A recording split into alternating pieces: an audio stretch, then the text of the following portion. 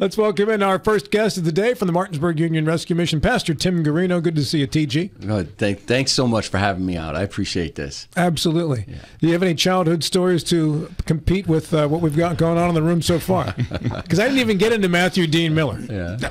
No, no, I no. I, he's he's got a lot of good stuff going on there. Now, but as a kid, you should have been around. Oh yeah, yeah, Yeah. Uh, Well, and and when my wife and I got married in 1985, you're talking about the clothes and everything. Um, she went through all my clothes, got rid of them all. She said that they were from 1979. the disco era was over, so she cleaned my she cleaned it out. and She said, "I will buy you clothes from now on." So yeah, that's that's for me. My wife, same thing. She We were talking about this before we went on the air, and Matt said in his adult life he's never bought a piece of Hey, clothing. hey, you don't have to share that with everyone. That was in this room. That takes a lot of that takes a lot of pressure off them. Pastor Tim you know? shared a similar story, and I said, other than a gift, my wife has never bought any of my clothing. I'm, all my clothing is self-purchased, and anybody who has seen me would go, "Well, that explains a lot." Got So- Connie Chung over here, just between us, you know. No one else So those days are gone, Mister. Those, those days are gone. What about you, Bondwell? I presume you buy your own clothing. I uh, I do buy my own Yeah. clothes. So we're evenly divided in the room here. Four men. Bondwell and I buy our own stuff. You two don't know where a clothing location is. So now everyone on Facebook vote as to who looks the best dressed and find out whether our wives are doing a better job than you guys are. I think it's I, I think the best dressed is definitely Rob because he has on the TV 10 shirt. You know, representing all of us. Rob is modeling the television 10 wear right now. Yes. today. Quite the haberdasher, Mr. Hornby. Tim, how is your fundraiser going? Going good. Uh, things are going really good at 604 for the 604 project. We are um, man. There's the extension is being is built. Um, it they're they did they connected the roofs. Uh, there's all kinds of stuff going on. We have the March 7th. We have a walkthrough, seeing the progress of that. That is really it's it's evolving. Um, there's a lot more work still needs to be done. We're still about uh, 500,000 short of our goal, but um, you know if you see it now, uh, we the masons are there. They're um, doing the the wall, the walls in the back for the um, extension that comes out. If you go inside, you see all the rooms. We got plumbing uh, in there now. We got the uh, showers and the and the tubs are in there. There's so much going on right now. There, uh, we're excited. A lot has been taking place, and um, we're just.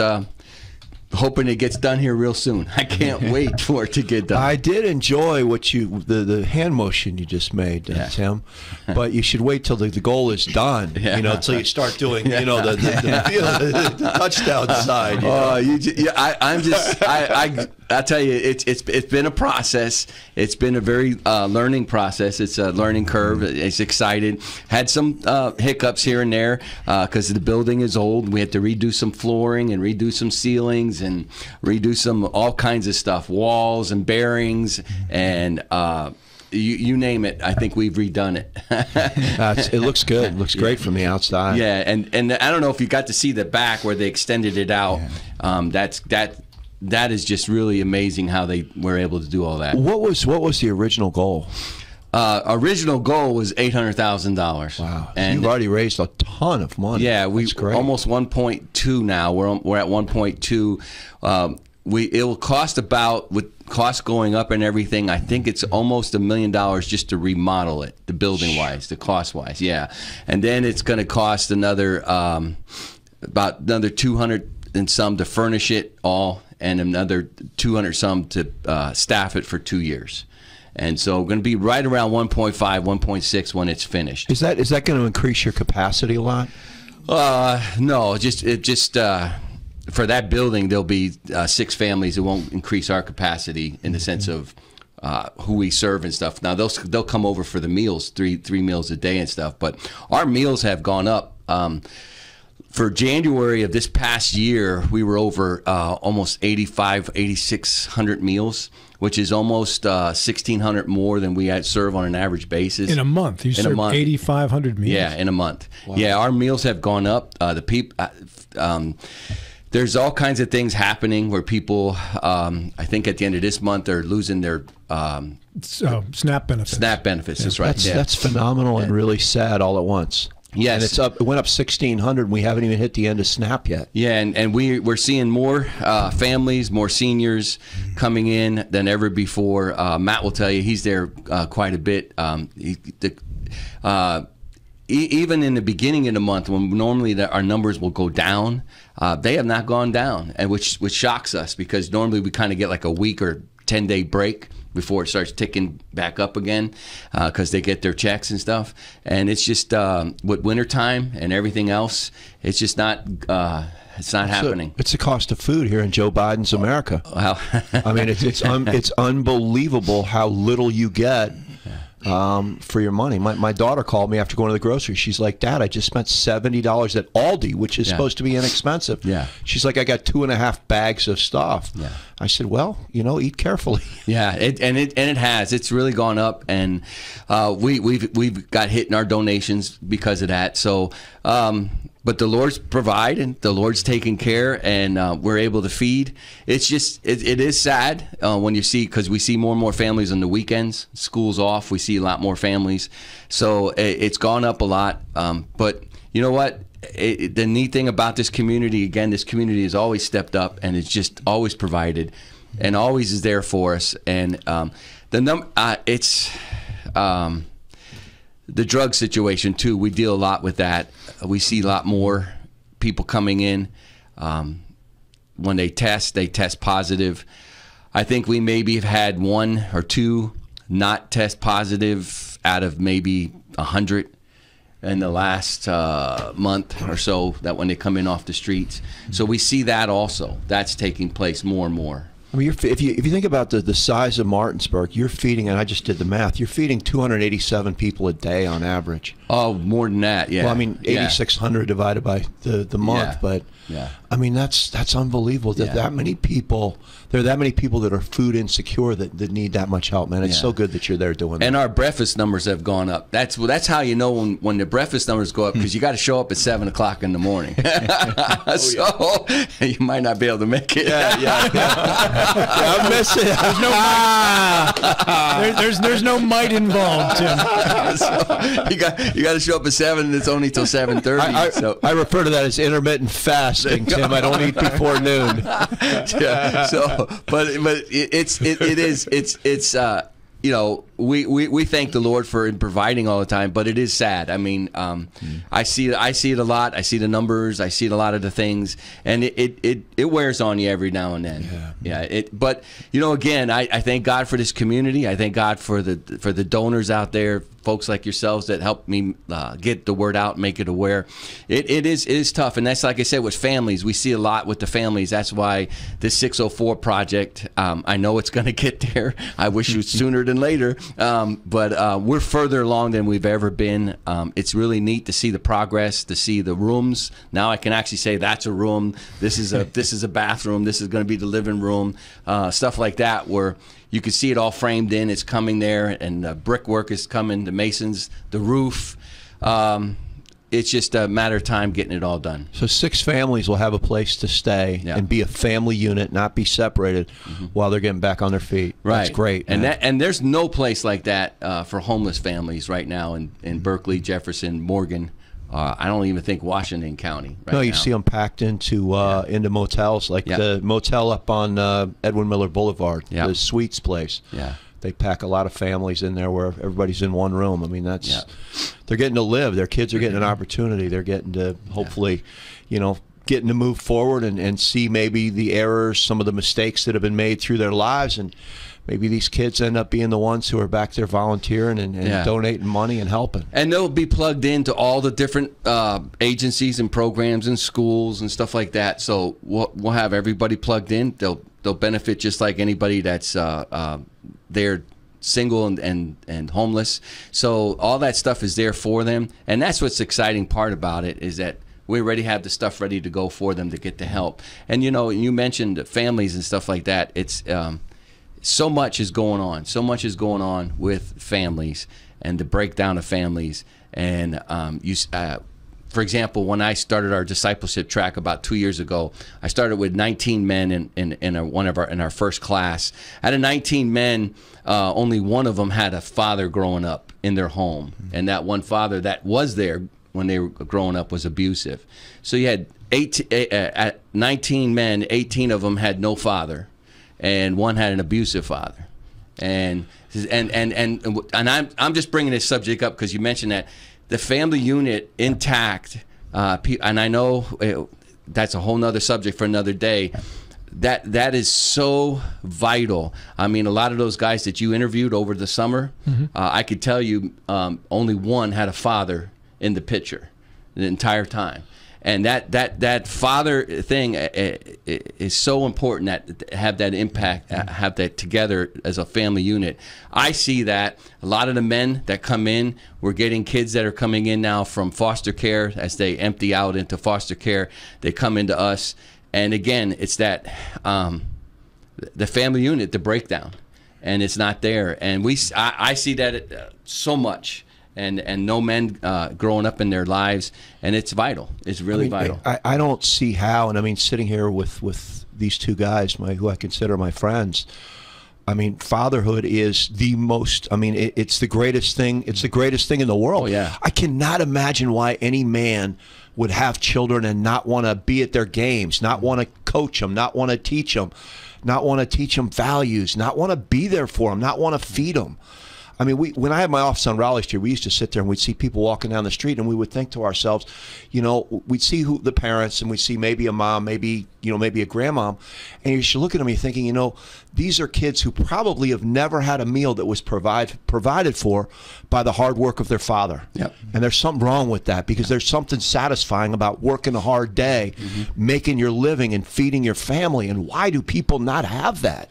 And that's why when we do connect the men back into society and stuff like that, that if they have back pay, child pay, uh, getting back with the family, if that's not involved, we work on that to where they get back with the family, they pay back the child uh, um, uh, what's it called? Child support, support, support. Uh, all that stuff. And and when you when the man starts doing that you see the connection come back together. And that is such re uh, refreshing. It's so rewarding. We make we challenge them to pay fines. In fact we're working with a, a, a guy right now that has some fines to pay and some back child pay. And he's getting that all done. Plus he's also restoring his relationship with his daughter. I mean, I I'm a father of four daughters, and I can't imagine. I mean, my daughters are very uh, uh a big part of my life. In fact, when I was in the Ukraine, my one daughter, for what she does for a living, uh, gave me a lot of heads up of what was above me or what was coming in on me uh, because of what she does for a living. Um, and here's, you know, here I was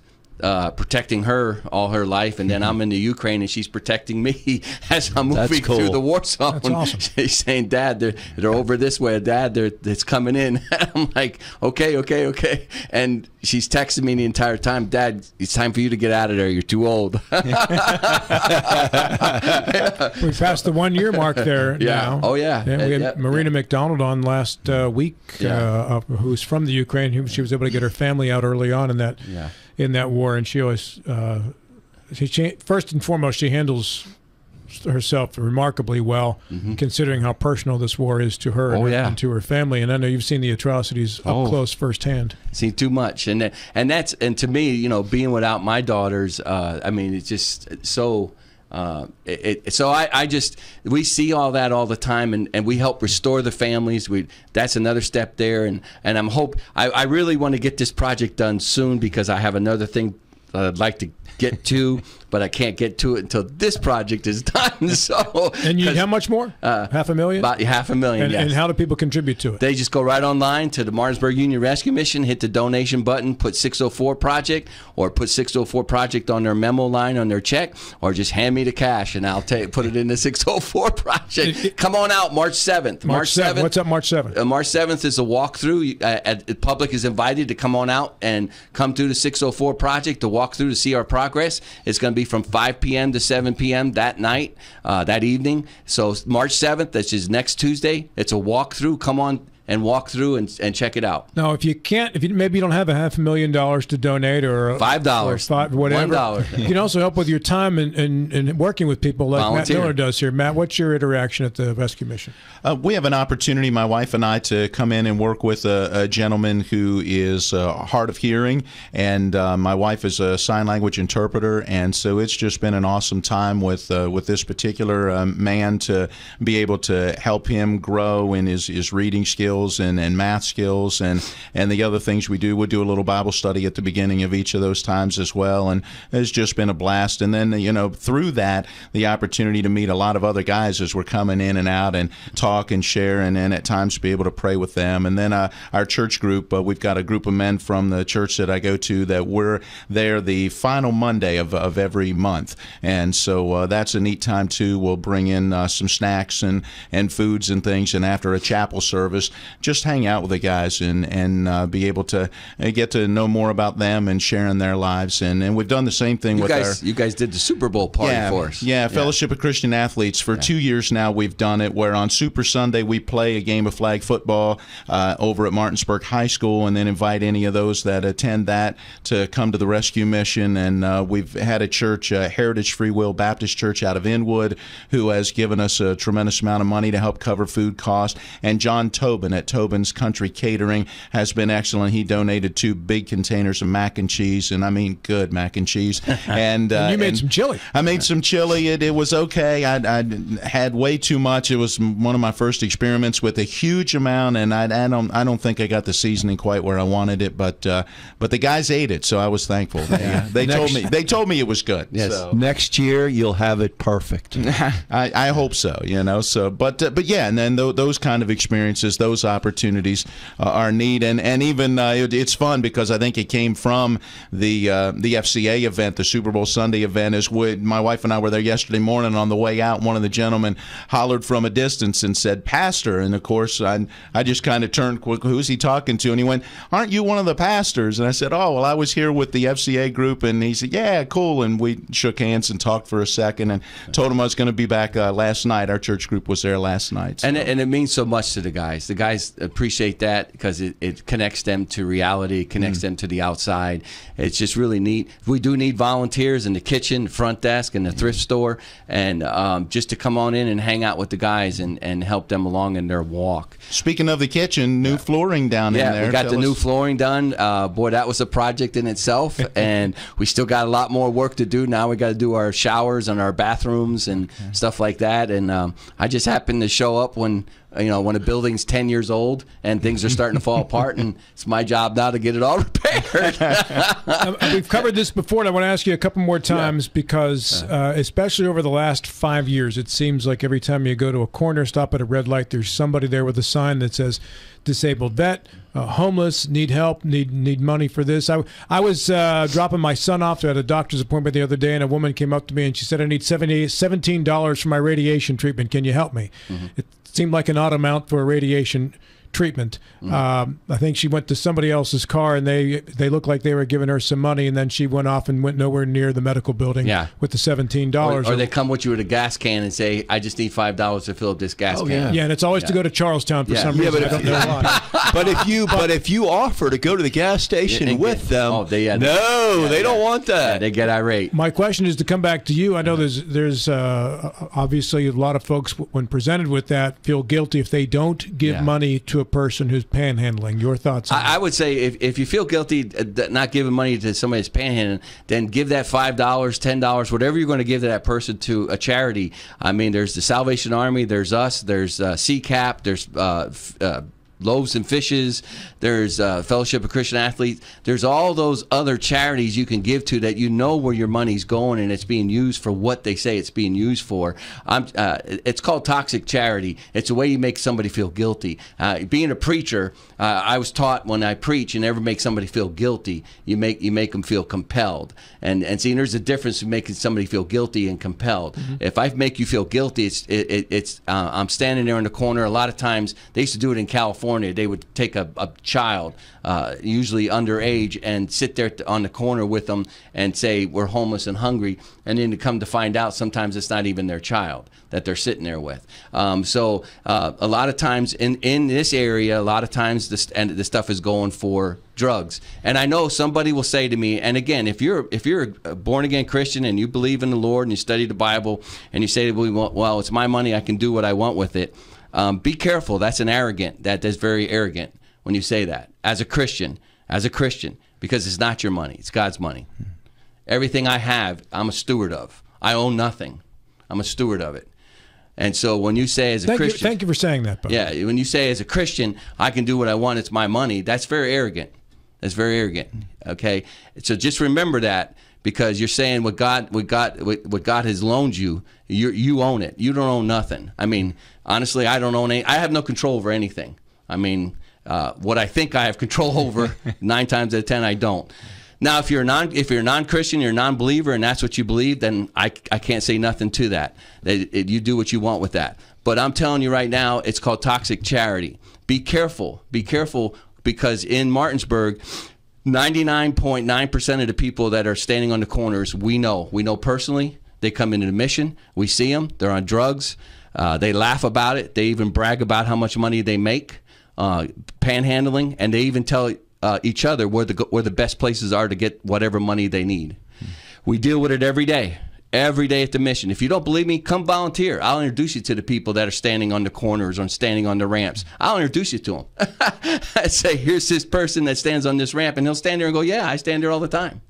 So, uh, in fact, we've had some now that are now recovering. They're clean and sober. One actually has a job in a local business here in town that used to be on the ramp, was notorious of standing on the ramp and collecting money. Now he's working full time. He's clean and sober. So, I'm not saying this just because I'm saying it, uh, and I, I got no evidence to back it up. I got evidence to back it up. But I know a lot of people will say, "Well, well, Pastor Tim, I'm a Christian. It's my money. I do what I want with it." Oh, you better read those scriptures again, because you are steward of what God has given you. And it's just like I tell my kids, and I tell the guys at the rescue mission, we are blessed with what we have. We're stewards of it. That's why one of our values is stewardship, because we don't get government funding. I don't get a check from the government. Uh, never in, since 1956, the mission doesn't get one dime from the government. So everything we get, we have to be good stewards with. Whether it's recycling, thrift store, uh, the food, all that stuff gets used and given back to the people and stays right here at 608 West King Street. And that's the neat thing about giving. So if you feel guilty and you can't get and you don't want to give to that guy in the corner, there's all kinds of other legitimate charities in town. I mean, I can't. Um, Maria Larson. Uh, the program she's with. Uh, help me out here. I'm trying. I don't know Maria Larson. I know Maria Lawrence. Lawrence. Lawrence. Hospice. I'm sorry, Hospice. hospice. Yeah, Yeah, see, okay. that, that's just my, you know. No, you're right. That's my. Public, thought you were close. That's my public school education. Help me out. I, I grew up in a time where, like you said, the words and everything they'd have Yeah. labeled me something else, but uh, they just Yes. they just said you can't talk.